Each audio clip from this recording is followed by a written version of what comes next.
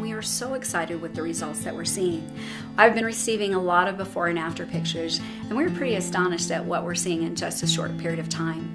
Anywhere from diminishing of deep wrinkles around the eyes. We've seen a lot of pictures where people are seeing lifting and tightening in their skin. We've also seen pictures of people underneath their eyes, the dramatic results of diminishing of those fine wrinkles. So we're pretty excited about what we're seeing.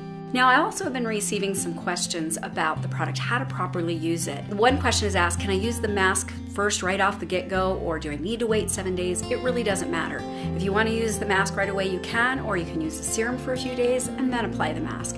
Uh, the proper way to do it is you want to cleanse your face first. If you're going to use the mask, you'll place the mask on, then you'll leave it on anywhere from 5 to 15 minutes, depending on what your skin type is, and then you'll go ahead and you'll remove the residue. Now, I've had a lot of people ask, saying, Can I just leave that on? And the answer is, I wouldn't do that because there are things in there designed to exfoliate the skin and it can be an irritant to your skin. So, you want to go ahead and take a damp cloth and wipe that residue off.